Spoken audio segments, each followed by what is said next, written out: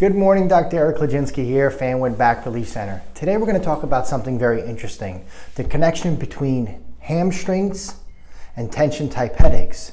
Tension in the hamstrings can contribute to your tension type headaches, and I'm going to explain the connection. Patients with tension type headaches often experience neck pain, upper back pain, shoulder pain, uh, stiffness all around and moving the head and the neck, and can present with headaches as well. Chiropractic treatments focused at putting movement in the spine, in the neck, and the upper back, where areas are not moving properly, where there's stress in those areas, can help uh, relieve tension on these areas, uh, creating less of a tension type headache and a lot of times just eliminating the headache altogether uh, and preventing it from coming back by keeping that area nice and clear. But what's interesting is that there's a connection between the actual hamstrings, which are one of the largest muscle groups in your body. The superficial back line runs your muscles from your neck all the way down to your lower back and into your legs.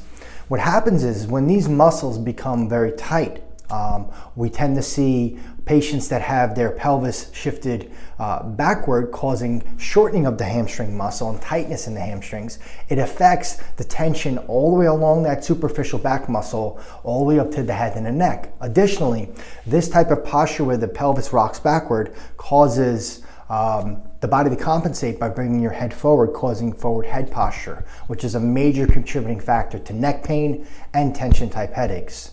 So one of the things what I will do with a patient that does have headaches, in addition to making sure that there's proper movement in the spine and that those areas are less uh, stressful and loading by the head, is to have them do some simple um, exercises for their hamstrings at home to relieve that tension as well along that whole muscle group line.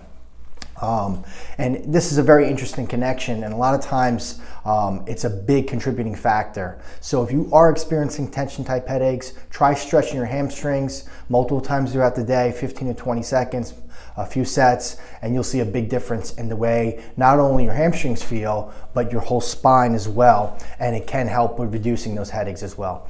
Uh, any questions about this or anything on our website at fanwoodbackrelief.com, shoot me a message, give me a call. I'm here and always available. Um, and hopefully you enjoyed this video. Uh, if you did, share it, like it, and we will talk to you next time. Have a great day.